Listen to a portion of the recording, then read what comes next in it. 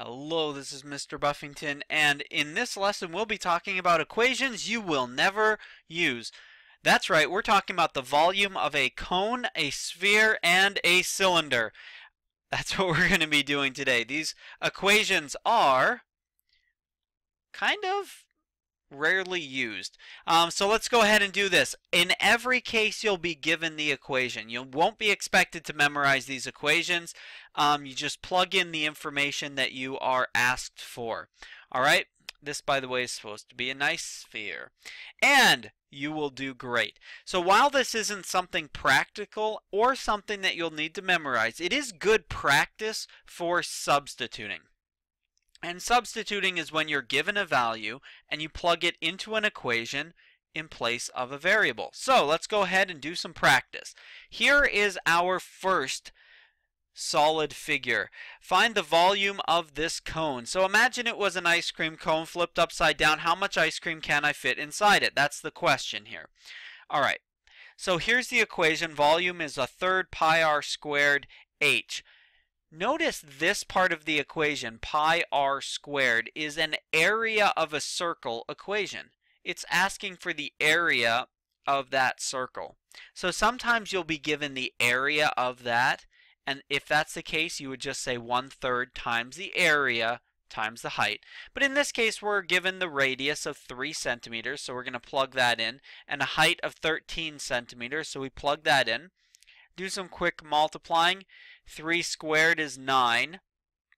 And now 9 times 13 times a third gives us 39 pi cubic, or um, yeah, cubic centimeters. Now that's the exact volume. What we are going to do is multiply times 3.14 to get an approximate volume of 122.46 cubic centimeters. Find the volume of a cylinder. Our volume is pi r squared times h. In other words, the area of the circle times the height of the cylinder. Let's plug it in. In this case, our radius is 12, so we plug that in 12 for radius, and our height is the distance between the two circles, and that is 28.